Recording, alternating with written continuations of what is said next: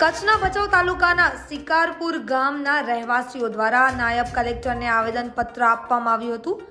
આવેદનમાં જણાવ્યા અનુસાર ગામમાં જીવન નિર્વાહ કરતા અગિયારાઓને સરકાર દ્વારા અપાયેલા હકો છીનવાઈ જતા હોવાથી આવેદન પાઠવી રજૂઆત કરવામાં આવી હતી. સરકાર દ્વારા શિવશક્તિ મીઠા ઉત્પાદન સહકારી મંડળી બનાવાયેલી છે, જેમાં અમુક લોકો દ્વારા કાવતરાઓ પૂર્વક મંડળીના અમુક સભાસદોને ફોસલાવી મંડળી પર તરાપ મારી રહ્યા હોય તે અંગે પગલાં લેવા રજૂઆત કરવામાં આવી હતી.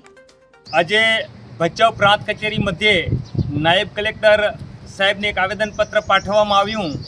કે વર્તમાન સમયની અંદર દેશની અંદર જ્યારે રાષ્ટ્રભક્તિનું માહોલ બનાવવામાં આવી રહ્યું છે, ત્યારે આ રાષ્ટ્રભક્તિના માહોલના નીચે વાસ્તવિક જમીની સ્તરની વાત એ છે કે સાચા અગરિયાઓના હકો ઉપર તરાપ મરાઈ રહી છે. નાના વંચિત વર્ગના જે લોકો છે, એમના હક અધિકારો છીનવી અને સડેચોક ઉલ્લંઘન થઈ રહ્યું છે.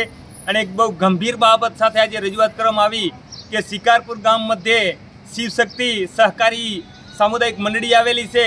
અને આ બધા જ મંડળીના સભાસદો છે, એમને મળેલી જીવન નિર્વાહન માટે, મીઠા ઉત્પાદન માટે મંડળીની જમીનો ઉપર ગેરકાયદેસર રીતે સરકારી દસ્તાવેજોની અંદર ચેડા કરી અને લોભ, લાલચ અને ડરનું ભયનું માહોલ બનાવી અને મોટા મોટા જે મીઠાના કારખાનાઓ ઉપર ગેરકાયદેસર મીઠાનું ખનન કરી રહ્યા છે, આવા તત્વો દ્વારા આ કોળી સમુદાયના હક અધિકારો ઉપર તરાપ મરાઈ રહી છે. ત્યારે સરકાર અને તંત્રતા સમક્ષ રજૂઆત કરવામાં આવી કે તાત્કાલિક ધોરણે આ મુદ્દે કાર્યવાહી કરવામાં આવે અને જે ફોર્ચ્યુનર ગાડીઓ લઈને ફરે છે રહ્યા બની અને સાચા અગરિયાઓ પોતાનું પેટનું પેટીયું રડવા માટે ગાંધીધામ જેવામાં કાળી મજૂરી કરે છે અને એમને સભાસદ બનાવી સરકારે મંડળી આપેલી છે.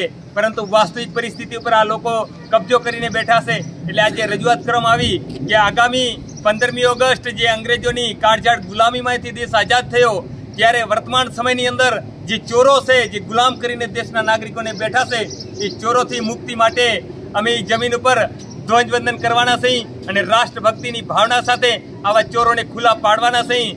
ત્યારે વાસ્તવિક પરિસ્થિતિ એ છે કે આવા ચોરો ઉપર કડક કાર્યવાહી કરવાની જવાબદારી તંત્ર પ્રશાસનની રહેતી હશે સબ ડિવિઝનલ મેજિસ્ટ્રેટ સાહેબની રહેતી હશે એટલે આજે સબ ડિવિઝનલ મેજિસ્ટ્રેટ સાહેબને આ મુદ્દે ધ્યાન દોરવા માટે આવેદનપત્ર પાઠવવામાં આવ્યું છે. જો પંદરમી ઓગસ્ટ સુધી કોઈ કાર્યવાહી ન કરવામાં આવી, તો તે જમીન ઉપર જઈ અને રાષ્ટ્રધ્વજને વંદન કરી અને આ અસત્યને અને આ ચોરોને ખુલ્લા પાડવામાં આવશે એવી રજૂઆત કરવામાં આવી.